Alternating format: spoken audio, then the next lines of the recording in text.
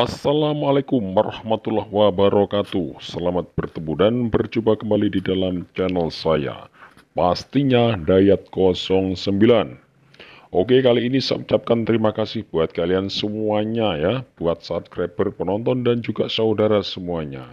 Saya menginformasikan buat kalian semuanya ya dari hari kemarin ya, para prayoga barusan konser yaitu di Gria Agung Palembang dalam rangka hari ulang tahun Bayangkara. Nah, selama di Palembang, nah pastinya memerlukan waktu yang agak lama ya, artinya juga butuh peristirahatan. Nah, peristirahatan pastinya di tempat yang lumayan mewah di bintang 5 yaitu tepatnya juga masih ada di kawasan Palembang. Dan video ini saya menyajikan buat kalian semua. Inilah tempat istirahat Farel Prayoga yaitu di Hotel Axelton ya. Axelton ada di kota Palembang. Hotel yang cukup megah dan mewah ya. Layaknya tempat-tempat apa ya, tempat-tempat artis ternama di sini penginapannya ya, tempat istirahatnya. Doakan selalu buat adik Farel Prayoga ya, selama dalam konser selalu diberikan kelancaran ya. Tidak ada kendala suatu apa pun ya, kayak yang kemarin ada di Gria Agung.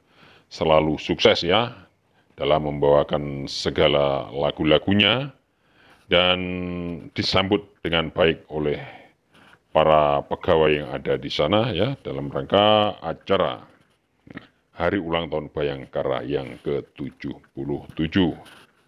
Jadi kali ini video saya mengupdatekan buat kalian semua, saudara semua, menginfokan bahwa inilah salah satu hotel ya yang ada di Palembang yaitu Axelton yang apa ya di mana di situ para prayoga beristirahat ya bersama ayahnya Bapak Joko dan juga Om Rais.